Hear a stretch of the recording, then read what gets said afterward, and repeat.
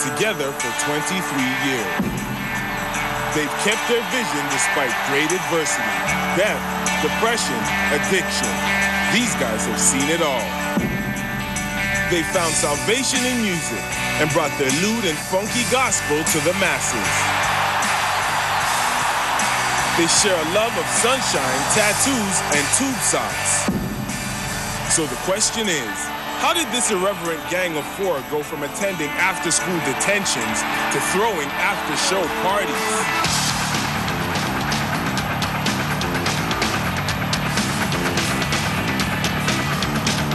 The Red Hot Chili Peppers were born to be. My mother always wanted me to be a lawyer. A doctor. An architect like my father. My dad insisted on medical school. I was always expected to be a part of the family business. A bank manager. But I, I, I was born to I was born to be.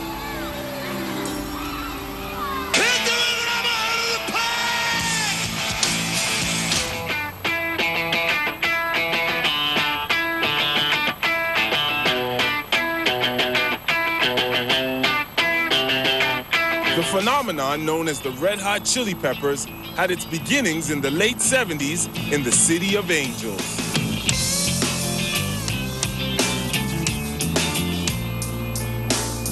At LA's Fairfax High School, two teenage outsiders, Anthony Kiedis and Michael Balzary, began a lifelong friendship. The universe, you know, gave me this friend, and it wasn't a friend that you get for a day or two, or a week or two, or a year or two. It seems to be a friend that you get for life. They shared a rebellious spirit and an affinity for landing on the wrong side of the law. Both boys came from broken homes.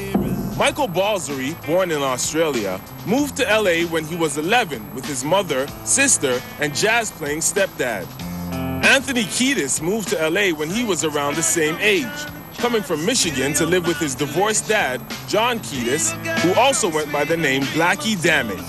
I, I, grew up in Michigan until I was 11, and I used to visit my father in the early 70s, late 60s, and the early 70s. It, it was such a dynamic place to uh, visit my dad. I was like, wow, this, yeah. this, this world is just booming with magic and intensity, and um, I was so attracted to it when I finally moved there, and you know, it's, it's quite a lot to handle as a young man. Having been born in the Midwest and move out to California, it's kind of the, the classic, let's go to California and discover our dream kind of a situation.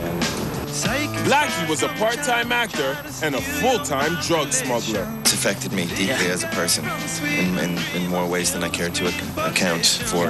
And if you want these kind of dreams, it's Californication. It wasn't all bad because Blackie was well known in the star-studded Hollywood club scene.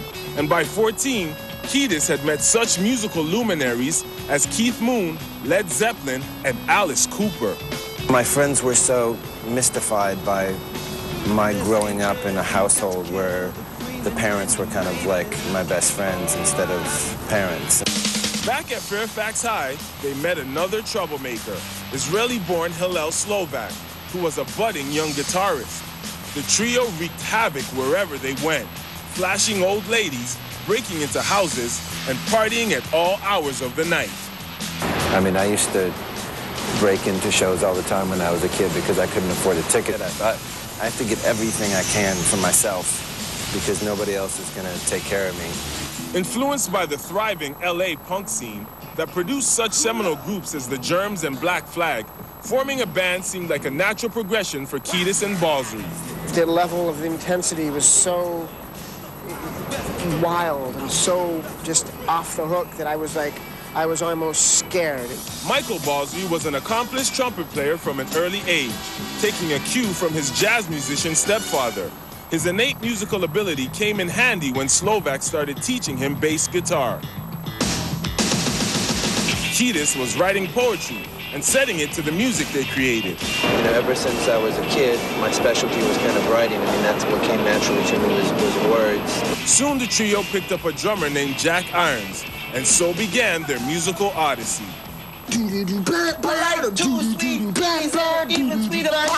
Even when we had only played one or two shows, Flea and I used to go to clubs and kind of insist that we were the best band in the world. And people would be like, do you have a record? And we're like, no, but we've played two shows and come and see us next Thursday. It's going to be the greatest thing you've ever seen.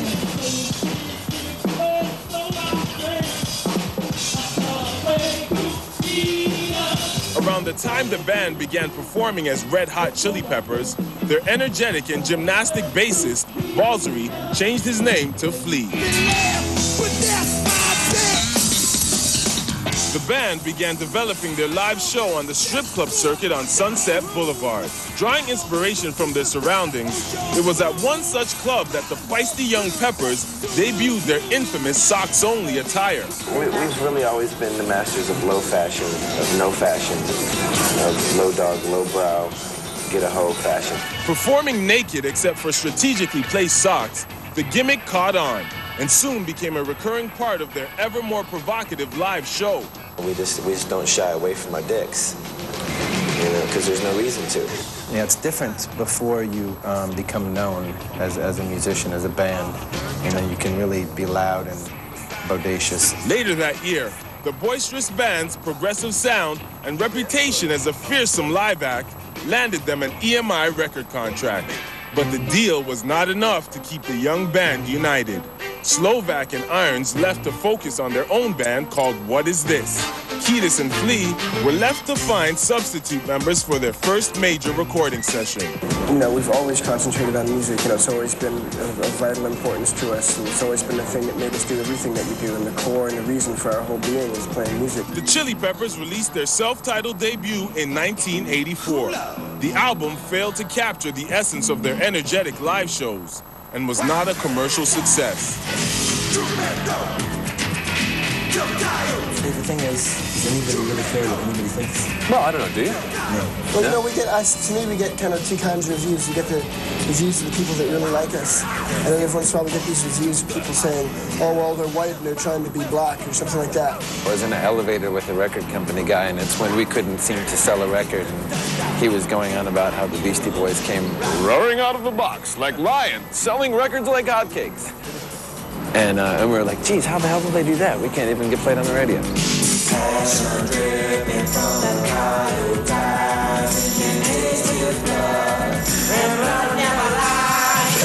But their underground following remained, and college radio backed the new sounds. Yes, college radio. College radio is where it's at. In 1985, Slovak returned to the group, and the trio, along with replacement drummer Cliff Martinez, recorded their sophomore effort, Freaky Styley, with funk all-star George Clinton as producer.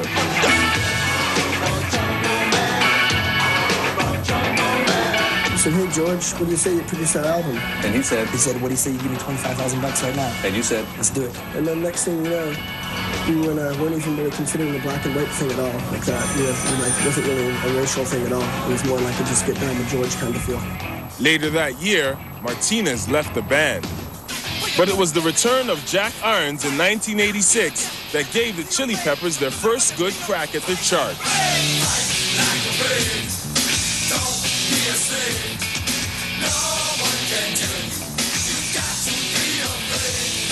The, the new band is actually the old band back together. Right, it's the original lineup, uh, including Jack Irons on drums, Hillel Slovak on guitar, the Israeli cowboy who can't be stopped, and my Feast of McBean, the Dream Team on bass guitar, and myself, Antoine Swan on vocals. Well, it's always a little burst of energy when you get someone back, you know, but I mean, we always kept the fire burning the whole time through. I'm here today to talk about the Uplift Mofo Party Plan. A plan based on a band, a band based on a plan. There should be no slaves in the Netherlands. Their third album, The Uplift Mofo Party Plan, released in 1987, was more focused and was the first to feature all the original members. It was also the last. Years of recreational drug use had turned into a painful addiction for guitarist Hillel Slovak. Sadly, on June 25, 1988, Slovak overdosed on heroin and was found dead in his home. Hillel dying is definitely a strong memory. Yeah. And we've all experienced tragic loss, and um, you basically have to appreciate everyone in particular, the love of the people that you care about. Devastated by the loss of his friend, Irons left the band shortly afterwards. When he died, I think the last thing that either of us thought about was the band. I mean, we thought about our friend. It was once again up to Anthony Kiedis and Flea to keep the dream alive or let it slip away. We come back, the kindred spirits face the most difficult decision of their lives, battle their own demons, and put their trust in a teenage prodigy when Born to Be continues.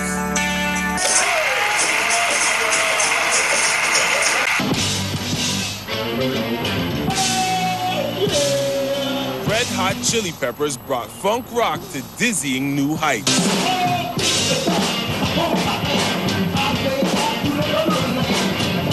Young rebel rousers came together to buck the system and were on the cusp of major success when guitarist Hillel Slovak died of a heroin overdose in 1988. Drummer Jack Irons left the band shortly after, and Kiedis and Flea were left to pick up the pieces and address their own shortcomings. Kiedis and Flea had invested too much to give up, even with the loss of half their band. They began seeking out new players to join them and found Chad Smith to man the drum kit. He's about twi- twice as loud as any other German. I like that. John Frusciante, a die-hard Peppers fan, had no band experience when he introduced himself to Kiedis and Flea. Initially, they recommended the 18-year-old to another band for an audition. But once they heard him play, they knew he was right for the Peppers. I can't imagine any feeling being more proud than how I felt when I joined on that day just to be a part of what they had been up to that point. Out of the hard times came hope and excitement. The newly formed combo charged ahead and recorded a fourth album.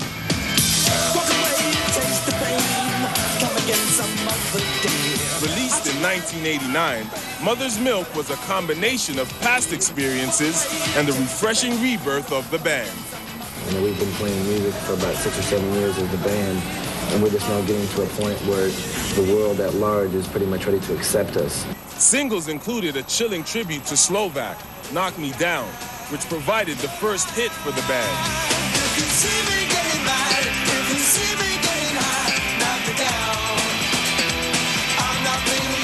It's basically a heart-to-heart rendition of, of the relationship that I had with that guitar player who died, and, um, and just how I was feeling about the whole situation.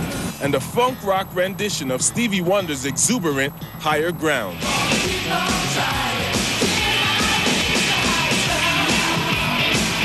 With that song, Higher Ground, the lyrical content of the song, I think, is particularly relevant to uh, what's going on. I mean, especially with the, our band has been through and what's going on with the band and what's going on in the world all around us. In 1991, the band switched to Warner Records. Well, it was a very smart idea going from EMI to Warner Brothers, I'll tell you, because being at EMI, the whole time we were at EMI, I was thinking to myself, is it really this bad being on a record label? Red Hot Chili Peppers moved into a rented LA mansion with mega producer Rick Rubin and recorded what was to become one of the most exalted albums in rock history Blood Sugar Sex Magik. I think you got a sense that the songs we were writing were very warm and, and gritty and funky and dirty, and they didn't belong to go into a studio. Straight from the heart, real shit. You know, I mean, it's an, it's an emotional record that we made, and uh, I'm really proud of it. We covered a lot of emotional territory, and there's a lot of varieties of sounds and moods, and it's all real. The album spawned back-to-back hits, helped in part by the provocative and inventive videos, like Give It Away, in which the band appears clad in metallic paint and little else.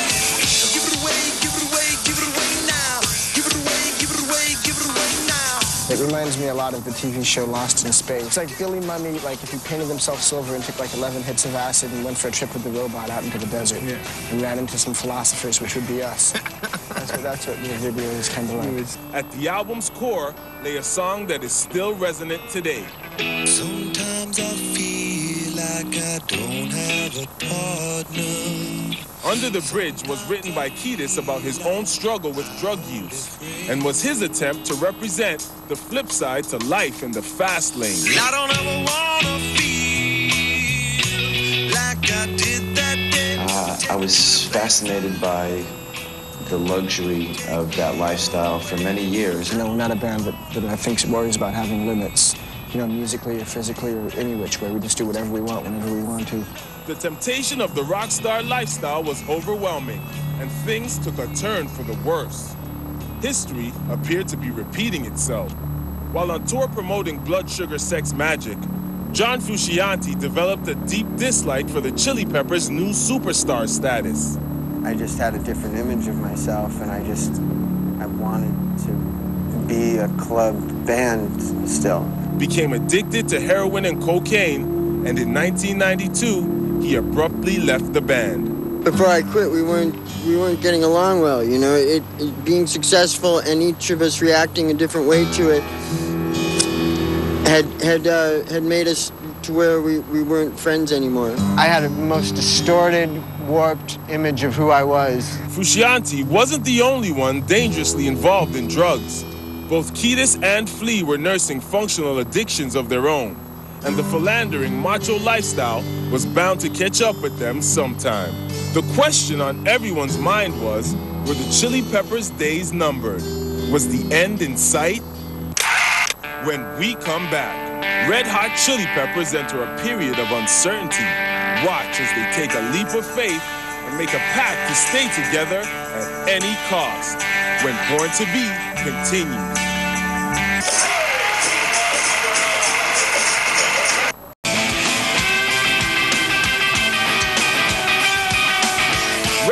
Chili Peppers will go down in history as a highly influential band that changed the course of modern rock music. Their unique sound is comprised of four individuals whose creative chemistry is unparalleled and often imitated.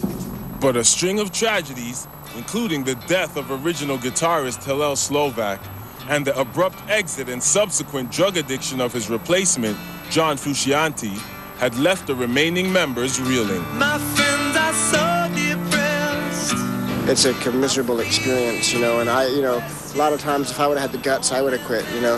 In 1993, the band hired former Jane's Addiction guitarist Dave Navarro to accompany them on tour and joined them for their much delayed 1995 follow up to Blood Sugar Sex Magik.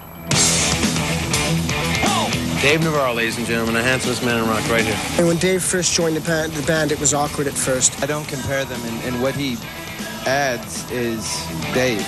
The resulting album, One Hot Minute, was well received, but didn't come close to the success of its predecessor. I like pleasure spiked with pain and music is my aeroplane.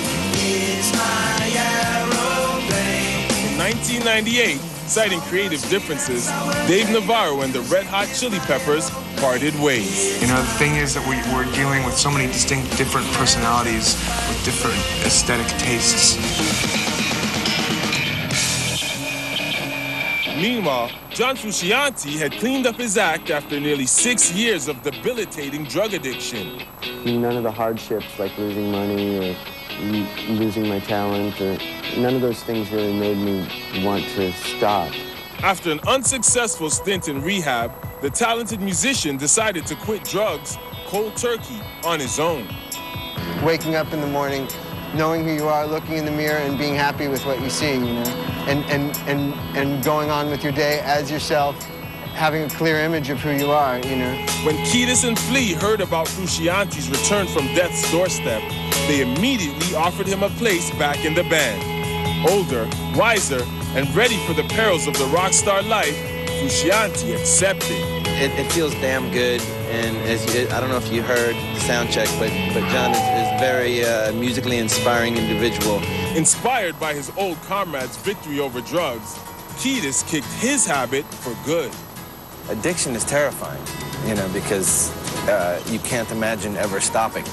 Getting out of that state of mind, getting out of that lifestyle is, is actually pretty exciting. With the Chili Peppers back in action, they set about recording 1999's Californication.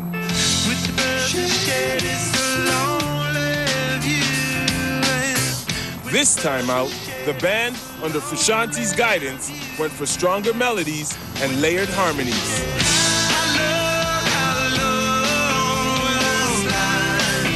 We had to actually go through everything we did in the last eight years for this record to to have meaning and to exist. But the album was also a return to the sound they became famous for. And the result was a massive hit with both diehard Chili Peppers devotees and a whole new generation of fans.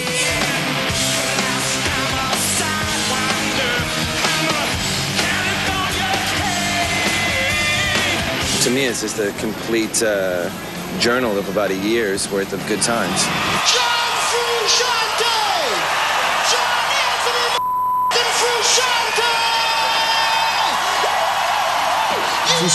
had been the missing link for the band, and with him back in the mix, the guys were more creative and energized than ever before. Fantastic, man! Fantastic, man!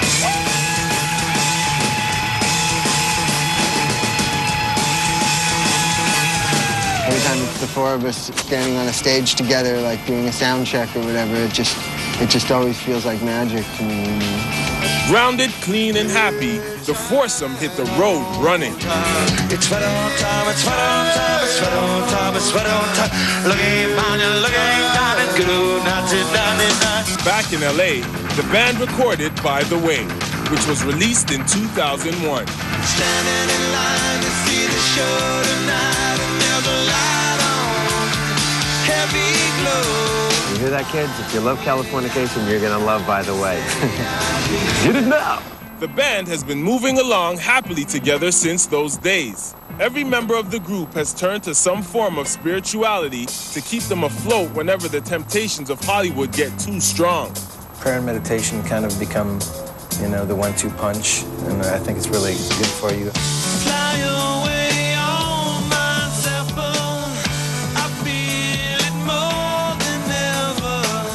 2004, the Peppers got back to work on their ninth studio album. Released in May of 2006, the final product, a double album called Stadium Arcadium, is regarded as their strongest work yet. One could say such things, and it wouldn't be horribly untrue.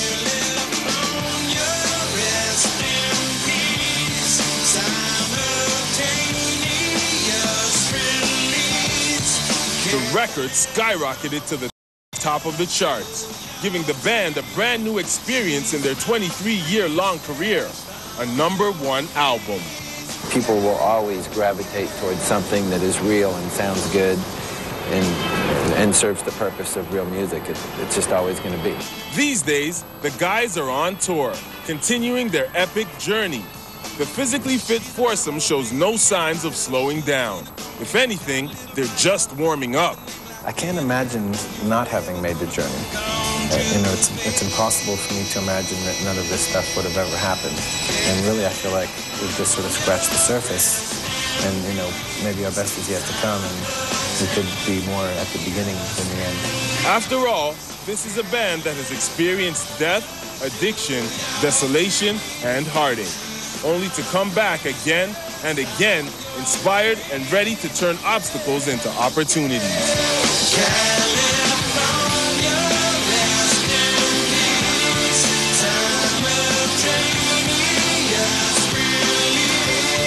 Red Hot Chili Peppers were born to be. What color are your underwear? I forget. What color are check? I can't know. Tell you after. Who's getting younger? The groupies, yeah. We, Groupies? we uh, you know, Yeah. we, we bring strollers to our shows now just to make sure they get home safely. Stroller access. You know, we don't want any accidents. Madonna does this prayer circle. Madonna? What a turd burglar. Every day, I think my life is full of weird, absurd moments. This could be one of them.